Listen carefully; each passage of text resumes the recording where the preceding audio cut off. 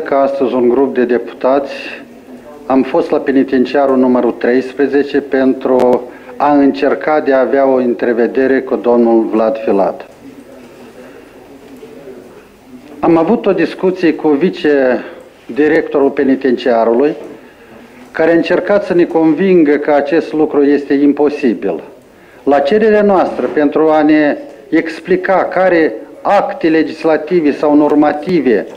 pot să confirme acest lucru, că noi, deputații în Parlament, care în conformitate cu codul de executare și cu legea despre statutul deputatului avem tot dreptul de a vizita instituțiile publice, inclusiv de a intra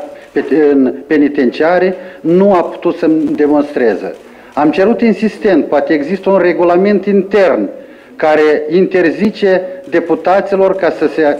întrevadă cu deținuții din, din penitenciar. Ni s-a răspuns iarăși, ca și în trecut, că putem să vedem orice deținut, cu excepția pe domnul Vlad Filat. Deci acest, acest lucru ne îngrijorează, deoarece cei care astăzi țin de autoritatea executivă, mă refer la instituția penitenciarului, care nemijlocit se află în subordinea Ministerului Justiției, care este autoritate executivă și ei sunt obligați să execute legile, ne îngrădesc nou dreptul deputaților fără niciun temei și fără nicio bază legală. De asemenea, am adresat o întrebare domnului șef adjunct,